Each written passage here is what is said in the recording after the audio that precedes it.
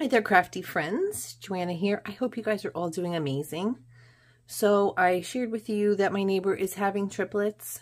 So the first quilt is our baby honeybee, which I will put that at the end of this video. And I did a short showing you all the fabrics for the new theme for triplet number two, which is Under the Sea. So I will put that at the end as well. So this way you can see all the fabrics in their entirety, not chopped up. It's only like 40 seconds, so um, go ahead and check that out.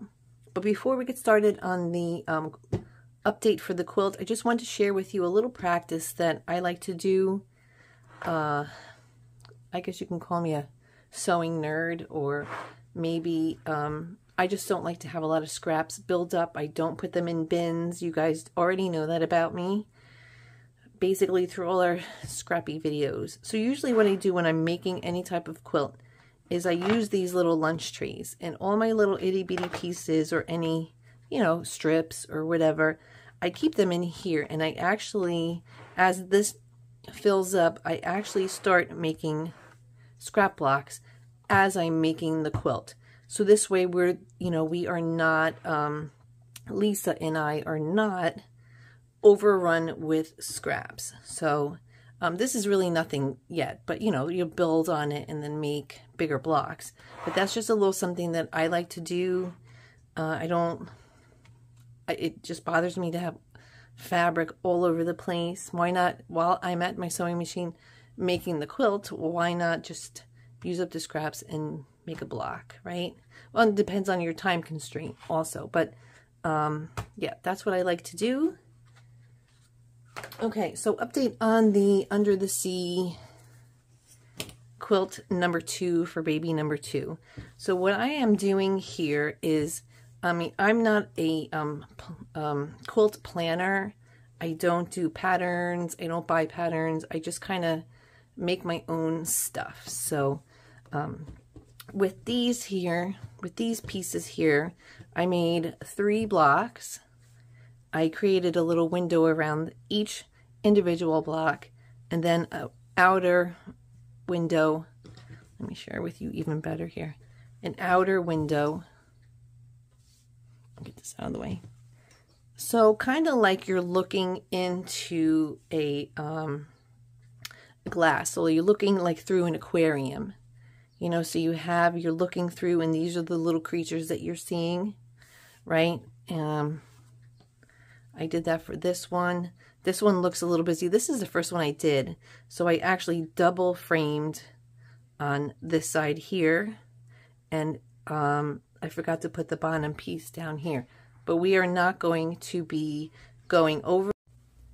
So I was able to make four panels with the three blocks.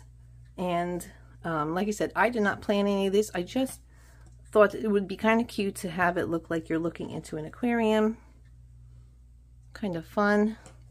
This part right here I have to fix. This is what happens right here when you're hangry. See how that doesn't match up? So I'm going to, I just put this here to remind myself to go ahead and pick that out. So remember to stop and eat. That's a note. Okay, so I was able to, the next step is I is um I made smaller um, smaller blocks and framed them out. So just um, a whole bunch of different ones highlighting the different animals, the different sea creatures. And how fun is that, right? So I'm still working on these guys here. So the third step for I made the, the long blocks and then I decided, well, I'm going to take the pieces, these pieces here, and then just build out um, and just add some, the two blocks offsetting each other with some, you know, not as busy fabric patterns here on this side, on the sides. So that's what I was going to do with that, like with, um, excuse me, these guys, like I'll do this here and then to offset, I'll put a piece here that coordinates. And then just kind of build from there.